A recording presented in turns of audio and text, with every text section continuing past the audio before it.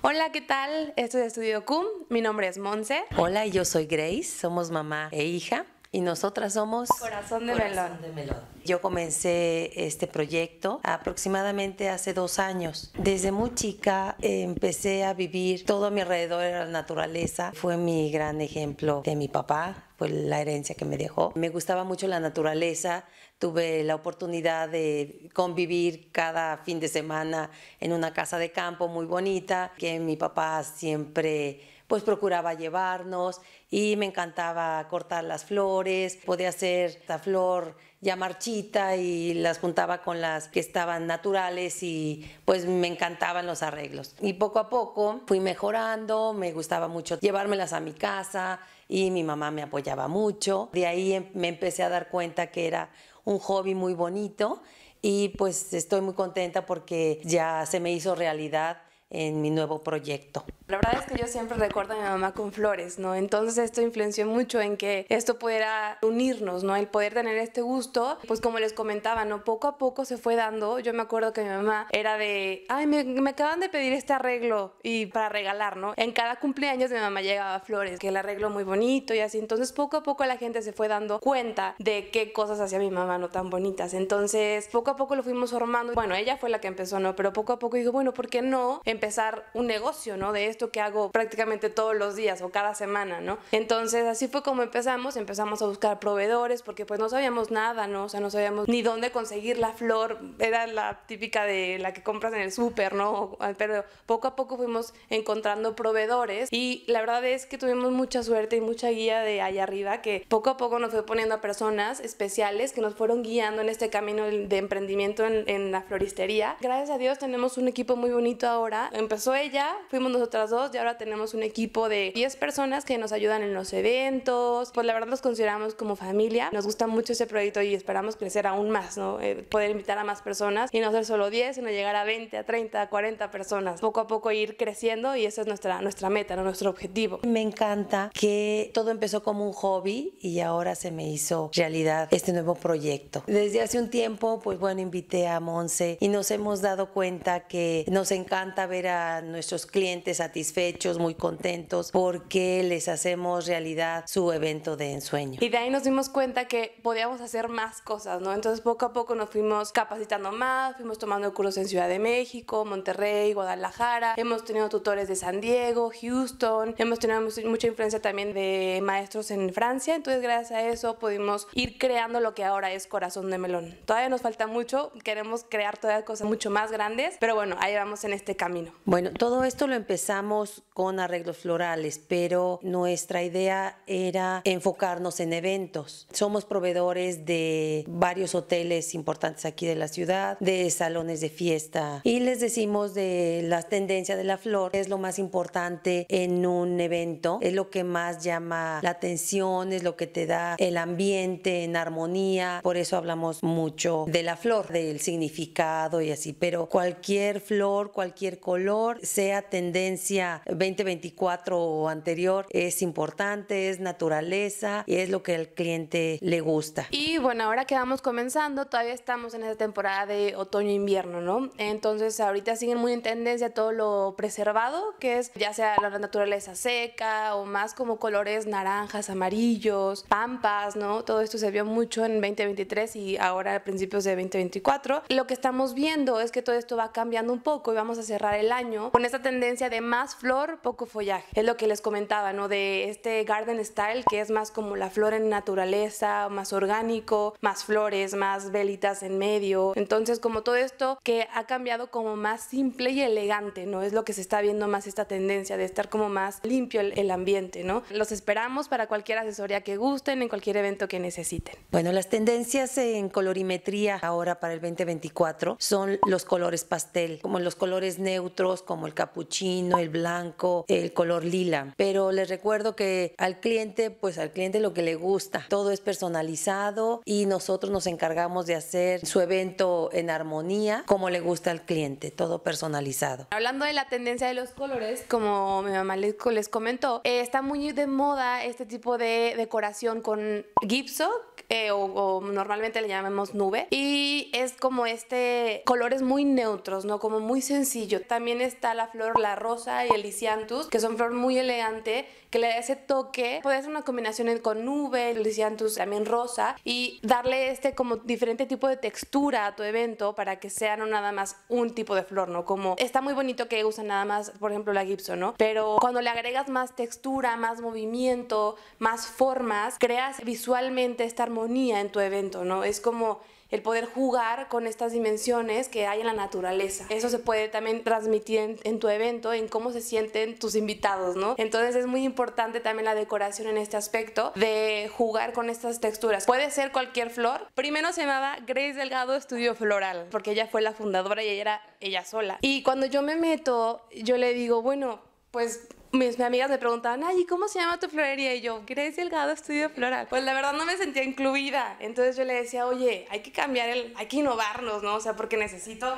pues yo también ser parte de. La verdad sí fue como un mes que estuvimos buscando nombres o, o nos encantaba ya, ya había un Instagram con esa, una florería que ya se llamaba igual o en otro lado, ¿no? Entonces como que creamos algo que fuera creativo, algo como dulce, pero a la vez que se pudiera pronunciar, ¿no? Porque luego también hay nombres muy extraños sin que no se pueden pronunciar pronunciar. Entonces, que llamara la atención, que llamara la atención o algo que ya recordaran. Entonces, no sé, como que buscando en internet fuimos a encontrar, yo quería algo relacionado con frutas, me acuerdo que decía como mango, melón o así. Entonces, pues dije, bueno, corazón de melón, ¿no? Es algo como un dicho mexicano, no sé, la verdad no sé de dónde venga la frase corazón de melón, pero creo que todo mundo hemos escuchado corazón de melón. dijimos, bueno, pues escucha muy bonito, ¿no? Las flores que se hacen desde el corazón y relacionado con la con frutas, ¿no? Como algo dulce. Dijimos, bueno, pues está padre corazón de melón y entonces así fue como nos identificamos y tuvimos muy buena respuesta de nuestros clientes y de amigos y familiares, ¿no? Que fue como que nuestra principal fuente de inspiración y nos gustó mucho y hasta ahora nos ha servido muchísimo. Híjole.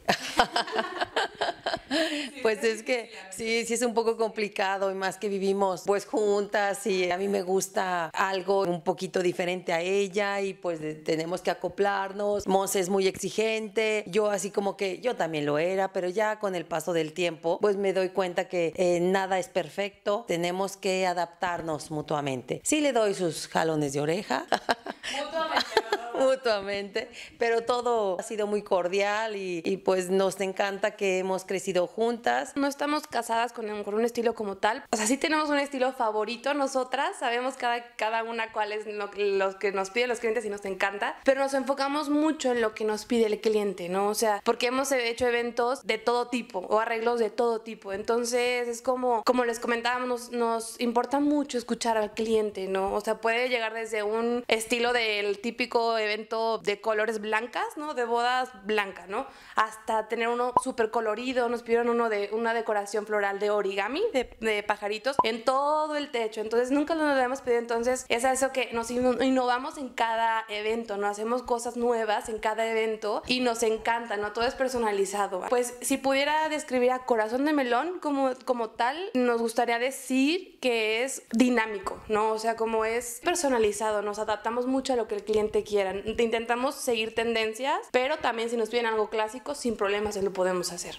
Bueno, pues esto empezó solamente o sea, empezábamos con arreglos florales, con apapachos florales, y después poco a poco nos fuimos extendiendo, empezamos con bodas civil, bautizos, y ahora ya tenemos bodas grandes en salones ya muy grandes. También manejamos losa, mobiliario, DJ, dron, fotografía, todo, todo lo relacionado con eventos. Así fue como nos ha llevado poco a poco las personas, nuestros clientes. Nunca imaginamos llegar a donde estamos. O sea, como que de verdad empezamos con la idea de vender puros arreglos. Los mismos clientes nos fueron llevando a ir como innovándonos, ¿no? A ir agregando servicios a nuestra empresa. Igual y no éramos expertos al principio, pero poco a poco fuimos investigando cómo se hacía, a buscar el camino y nos fuimos adaptando y como les repito, encontrar personas expertas en este tema y que ahora son parte de nuestro equipo, ¿no? Entonces, a lo mejor no lo hacemos nosotros, pero ya forman parte de nuestro equipo, ¿no? Y está bien padre que Corazón de Melón va expandiéndose, ¿no? Poco a poco. Otra cosa que nos ha gustado mucho es que yo creo que hemos tenido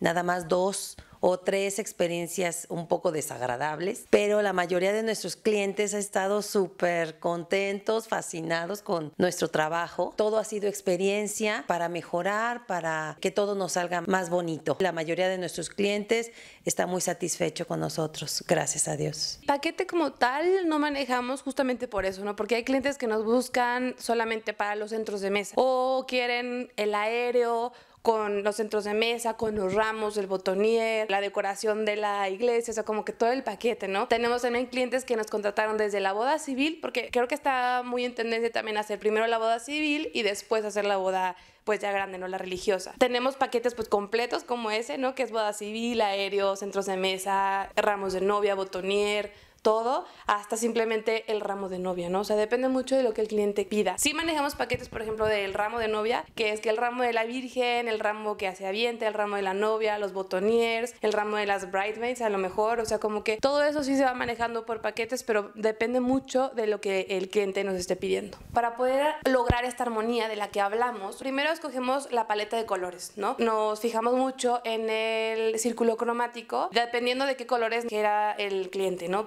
Supongamos que quiere la tendencia que está ahora, que son los colores neutros, beige, capuchino. Nos fijamos mucho en el tipo de flor también, que por ejemplo se usa nada más una o dos flores protagonistas. En este caso son las flores premium, como les comentaba, ¿no? Puede ser que la protagonista sea lisianthus y rosas. Entonces, estas son las flores que van a predominar en el arreglo, van a ser como un poco más largas que las otras, son con las que resaltan, ¿no? Es como si se hace llamar la atención esta flor, ¿no? Que es un poco más cara porque es premium, se ponen nada más unas cuantas, que es como visualmente es lo que llama la atención, y por abajo se llena es como las flores de relleno que le llamamos, que es la flor estándar. Así siempre cuidando la colorimetría, no todo va en armonía. Nos fijamos mucho también que las flores sean más o menos de las mismas formas. Hay, se dividen en flores como con más picos o hay flores que son más redonditas. Tratamos de que sean todas como, sí mezclarlo para que sea todo muy natural, muy orgánico, pero principalmente que sean como de la misma base, de la misma gama, para que todo visualmente se vea, ¿no? También en la florería hay algo que se llama como espacios negativos que usamos, que es llenar flores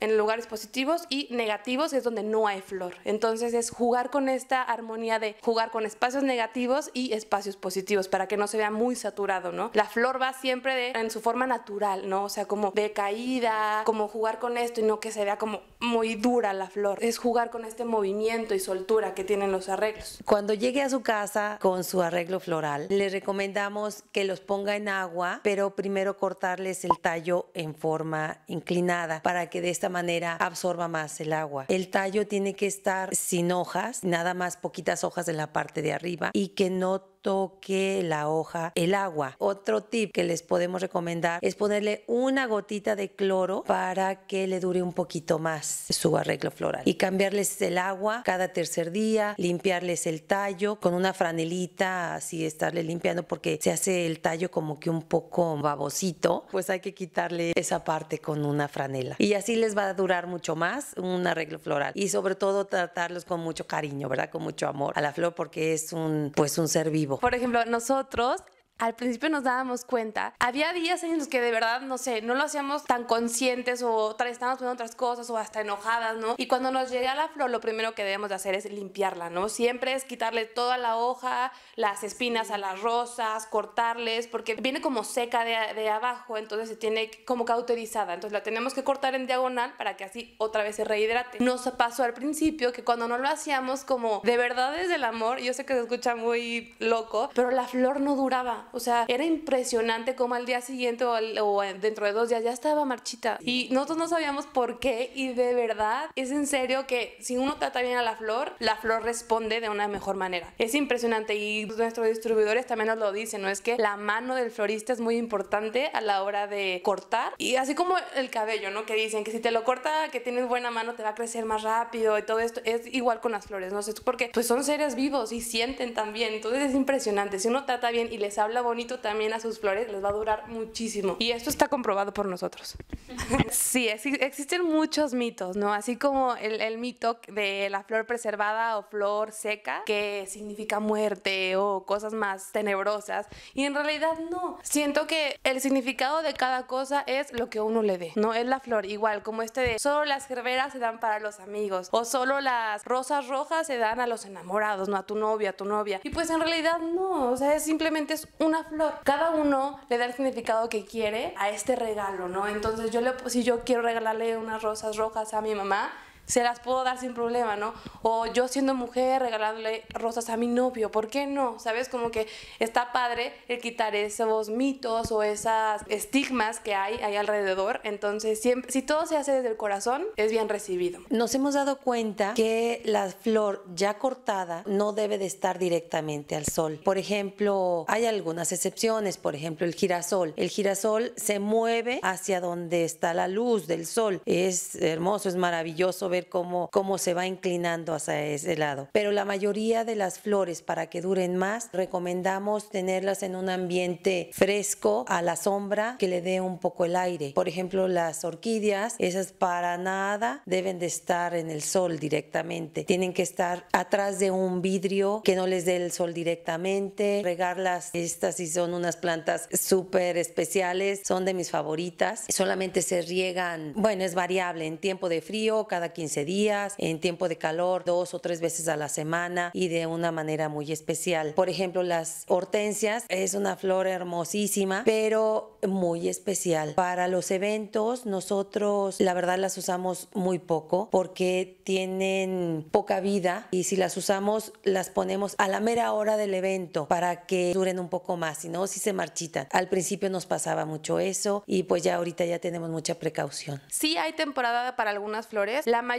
sí hay todo el año. Algunas, por ejemplo, el tulipán que viene desde Holanda, la peonia, son flores más como específicas y que sí se necesita, si, lo quieren para su evento, se necesita pedir, o sea, es bajo pedido totalmente y aparte el precio aumenta mucho porque se, se tiene que pedir desde el país que viene, ¿no? Porque sí, no se da todo el año. Un ejemplo muy, muy práctico es el del cempasúchil, ¿no? Que solamente se da en noviembre, octubre, noviembre. Es una flor muy bonita, pero también es muy, muy especial, ¿no? Es una flor que tiene que tratar con mucho cuidado y su vida aparte es muy corta, dura uno o dos días máximo. Entonces es una flor que se necesita tener mucha precaución para trabajar con ella. Nos ha tocado ver varios arreglos, duran poco tiempo porque no les agrada en el lugar donde están. Entonces hay que estar viendo qué lugar es apropiado para la flor. Recordamos que hay que tratarlas con mucho amor, hay que cambiarles el agua constantemente, darles su mantenimiento, ¿verdad? Y también en varios lados hay mucha negatividad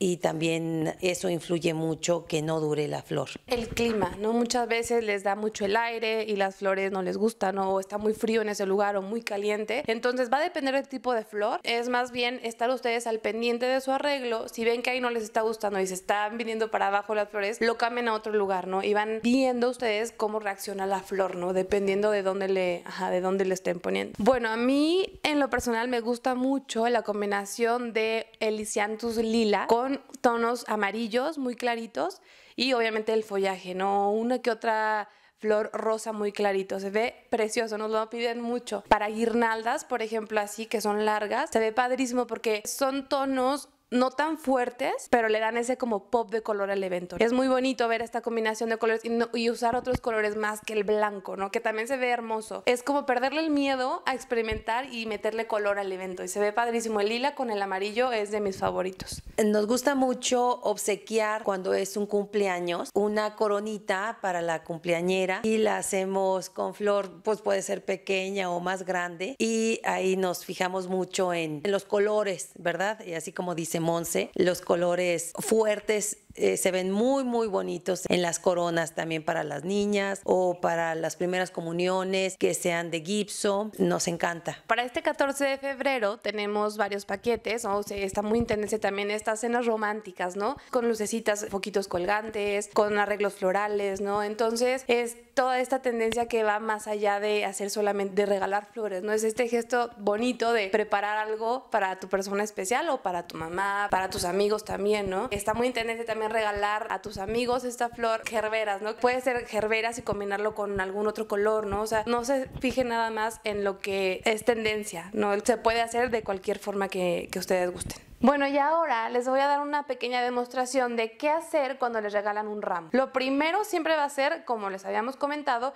limpiar para que ninguna hoja toque el agua.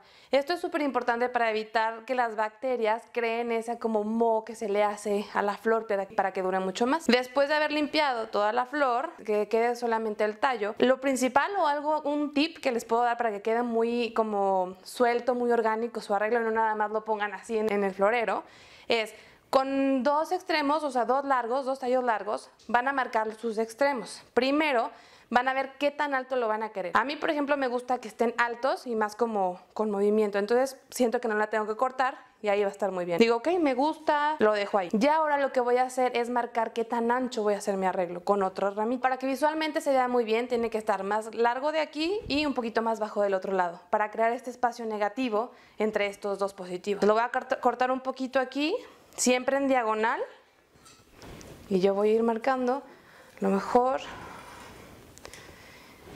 para que se vea bien, no sé si se vea bien, por aquí, se, va a ir moviendo, pero ustedes lo van a ir arreglando. Antes de esto, se me olvidó decirles que yo con una cinta adhesiva van a crear una cuadrícula en su florero, que en la parte de arriba van a ir creando tres y luego tres y lo van a pegar y así van a poder detener sus ramitos y sin problema, porque si los ponen sin esto se van a empezar a mover de un lado a otro, entonces gracias a la cinta se van a detener justo donde lo ponen, ustedes le van a ir moviendo y lo, si no les gusta así lo sacan y lo mueven y lo van a ir arreglando como ustedes quieran, le quitan lo que tengan, lo que vean que ya esté medio feo y les vuelvo a repetir, súper importante, con tijeras de jardín, no me vayan a cortar con tijeras de papel, van a hacer corte en diagonal.